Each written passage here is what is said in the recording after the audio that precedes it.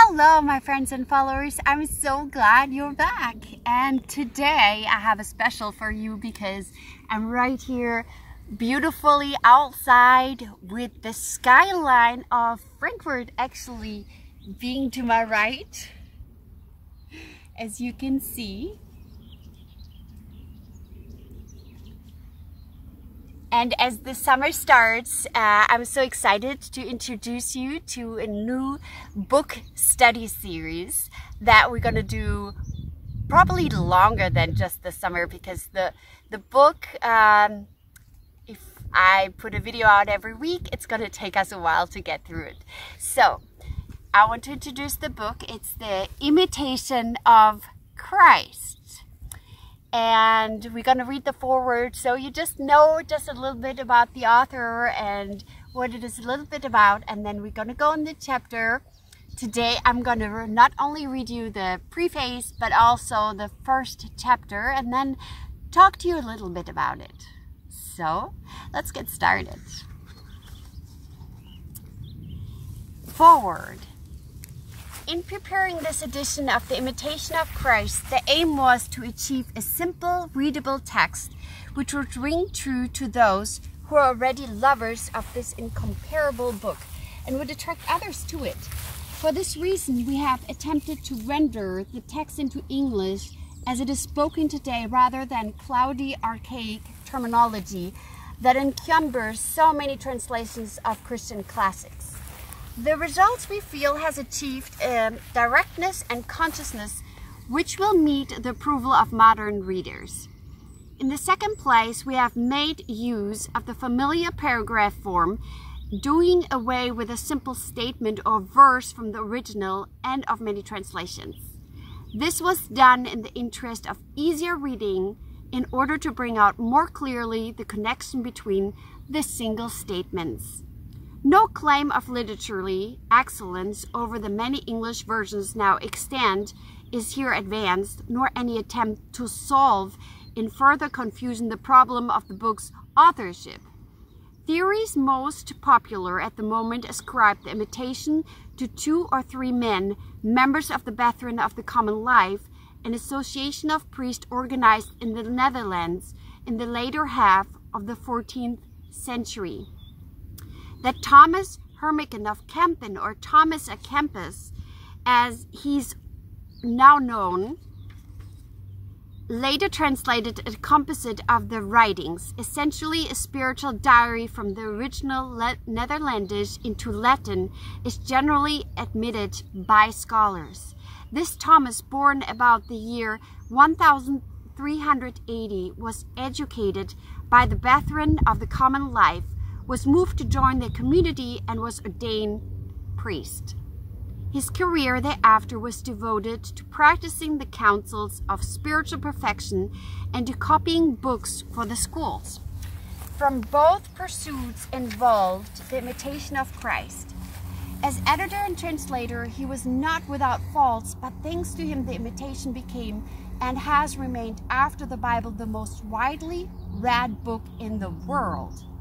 It is in this edition that is here rendered into English without deletion of chapters or parts of them because doubts exist as to their authorship or because of variations in style or for any of the other more or less valid reasons. There is but one major change. This treatise on Holy Communion, which Kempis places at Book 3, is here entitled Book 4, the moves make the order of the whole more magical, logical, and agrees with the thought of most editors. So let's get into the first chapter.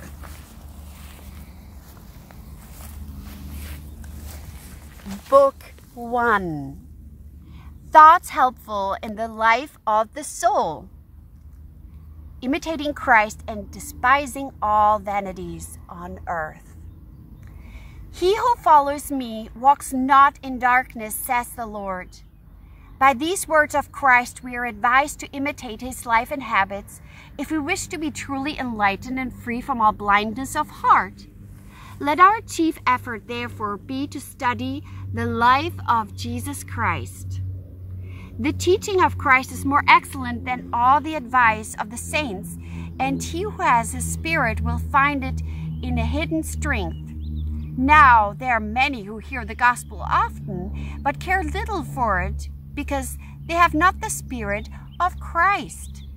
Yet, whoever wishes to understand fully the words of Christ must try to pattern his whole life on that of Christ. What good does it do to speak learnedly about the Trinity if, lacking humility, you displease the Trinity? Indeed, it is not learning that makes a man holy or just, but a virtuous life makes him pleasing to God. I rather feel contrition than both how to define it. For what would it profit us to know the whole Bible by heart and the principles of all the philosophers if we live without grace and the love of God? Vanity of vanities, and all is vanity except to love God and to serve Him alone. This is the greatest wisdom to seek the kingdom of heaven through contempt of the world it is vanity, therefore, to seek and trust in riches that perish. It is vanity also to court honor and to be puffed up with pride. It is vanity to follow the lusts of the body and to desire things for which serve punishment later must come. It is vanity to wish for a long life or to care little about a well spent life. It is vanity to be concerned with the present only and not to make provisions for things to come. It is vanity to love what passes quickly and not to look ahead where eternal joy abides. Often we recall that proverb The eye is not satisfied with seeing, nor the ear filled with hearing. Try, moreover, to turn your heart from the love of the things visible and bring yourself to things invisible. For they who follow their own evil passions stain their consciousness and lose the grace of God. So this was chapter one, and I think it was pretty straightforward to say that everything in life, what you aim for, what you make the center of your life, might be vanity. It might be trying to grasp the wind. Because once you die, you will lose everything. And then where will you go then?